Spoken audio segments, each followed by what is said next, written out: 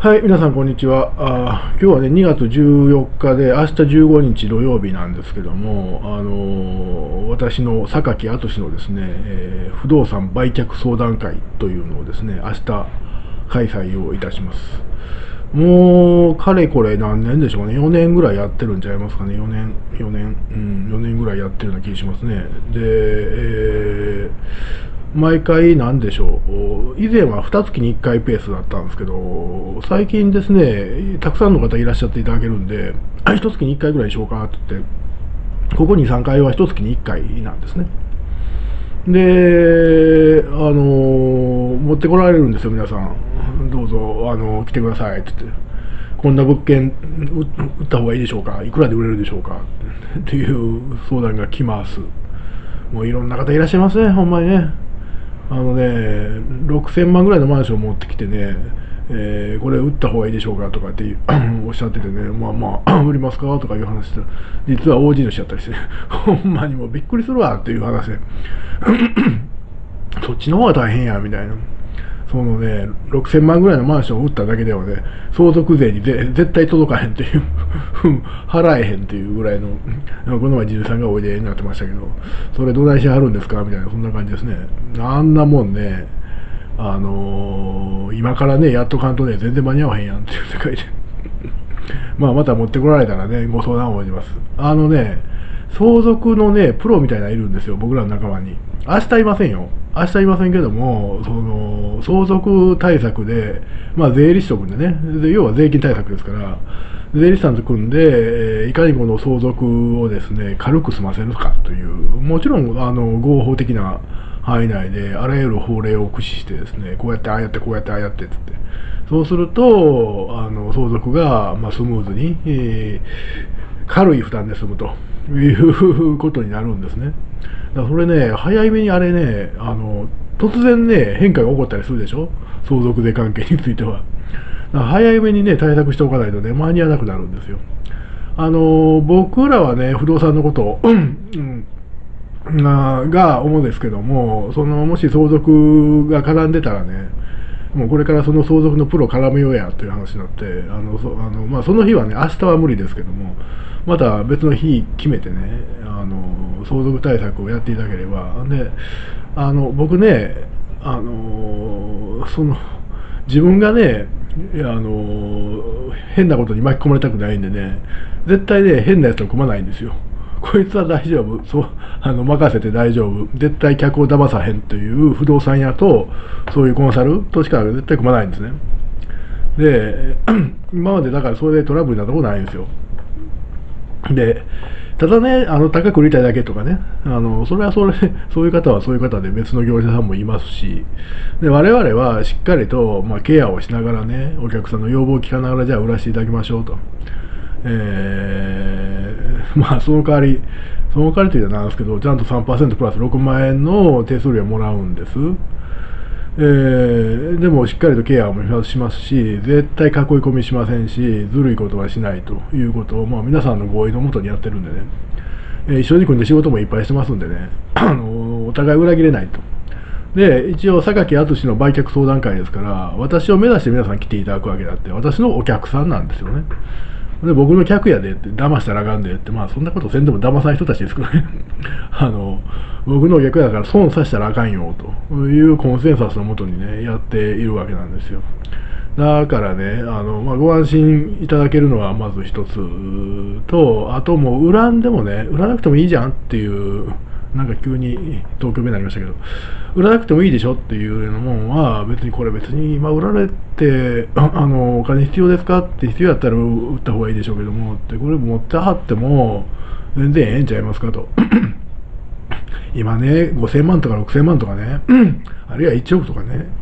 現金手にしてもね、その現金ね、全然ね、利子生まへんのですよ。ちょっと危ない投資商品買うたら、それは、うまいこと言ったら、それはあれですよ、増えてきますよ。でも手堅くいこう、元本保証とかで言いますと、ほぼ増えないですね。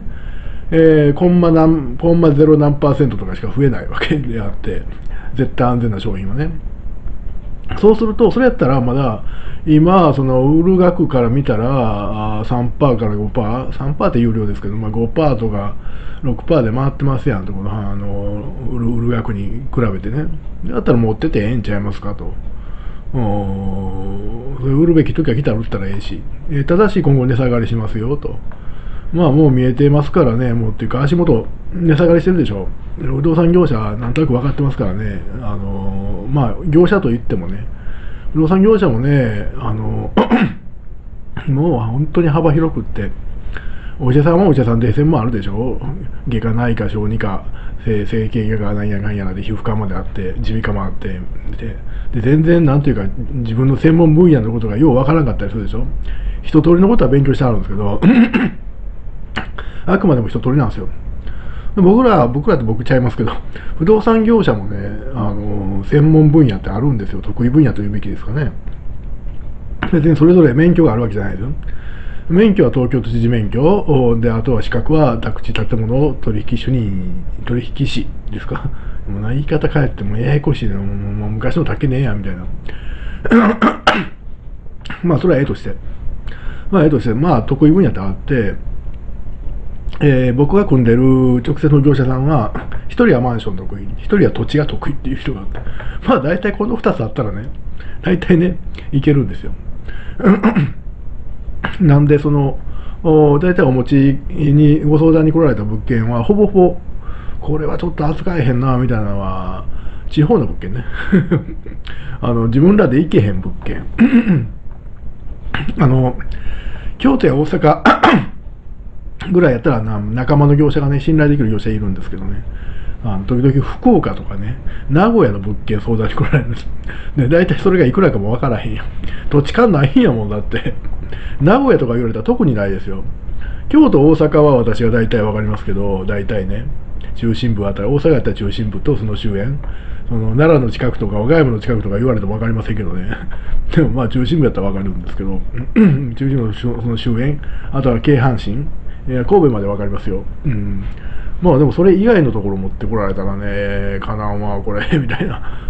まあまあ、あの、一通りのことは言いますけどね。だから別にまあ持ってきていただいてもいいんですけど、あんまりお役に立てないかもしれません。まあ主に首都圏で 僕らが、僕らがってけど僕の仲間が、その、日本橋ですから、日本橋横山町というところを拠点にしてますんで、日本橋横山町 の拠点にした人たちが、こう、行ける範囲ですね、案内があったあったら、行きますっていう範囲で。まあでも、その八王子の奥の青梅とかね、あんなとこやったらちょっとかなんなっていう。かなんなと、あの、まあ、かなんなというかね、責任が持てないんですよね。細やかに行けないから、でもまあ、あの国立あたりまでやったらね、国立の物件も預かったことありますよ。お売りしましたよ、売却相談会で。うん、行けますんでね。そのあたりはカバー範囲なんです。だからね、明日ね、えー、日本橋横山町のね、えー、この場所がね、どこかと言いますとね、セトルさんという会社なんですけど、えー、日本橋横山町4の11、えー、あのね、暴露、失礼しました。暴露横山という駅をね、降りていただいたらすぐです。すぐです。あの通り、何通りってのはよくわかりませんけど、あの通りの大きい通りですね、に面してまして、あの、緑色の看板出てます。日本橋横山町4の1、11、ごめんなさい、4の11ね。で、明日僕が、えっと、1時から5時まで、えー、そこにいます。で特にね、もう時間決めてないんですよ。来られた方順番にやっていくっていうわけで、まあ、ものすごく待ってもらうと1時間、小1時間、待ってもらってる方いるんですけど、待ってもらってる場合はもうどんどんどんどん行きますから、あの終わったら、はい、どうぞって言って、あのね、早く終わらせるようにしますんで、まあ実はね、そんなにね、1件30分あったら本当は足りるんですよ。本当は足りるんですけど、まあその不動産には必ずその背景があるでしょ、その人生の。まあ、その時間があったらそれもね、お聞きしながらね、あ喋りたかったらね、あの相談者が喋りたいような雰囲気であればお聞きしながら、じゃあどうしましょう、こうしましょうって、周辺周辺事情をこう話しながら、不動産の事情を話しながら、こうしたらええ、ああしたらええって話をしてると、別に1時間でも2時間でも、まあ、いるんです。だから誰も待ってないとね、2時間ぐらい喋る人ざらにいるんですよ。もう大体、あとは雑談ですけどね。家族の話とかね。えー、雑談をしてるんですけども、いらっしゃる場合はなるべく早くこう、回していくようにしますんで、まあ、まあ、こう1時間待ってもらう人もいるかなという感じではありますね。ということでね、えー、一月に1回やってます不動産の売却相談会、明日あ1時からあ13時ですね、えー、17時まで、えー、中央区日本橋横山町4の11、セトルという会社で、私はあの2階の会議室におりますので、あのエレベーターでも階段でも上がってきていただければ、であの待っていただくところもございますから、あのちゃんとお茶もお出ししますんで、あの、あの、少しだけお菓子もありますんで、ね、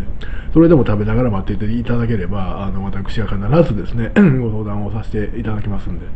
えー、ぜひ来てください。えー、日本橋横山町4の11、セトルという会社です。えー、暴露、暴露横山駅、地下鉄の暴露横山、もしくは東日本橋、まあ、小伝馬町でも歩けんことはないです。まあ、そういうところでやっておりますんで、えー、ぜひおいでください。お待ちしております。はい、皆さんどうもありがとうございました。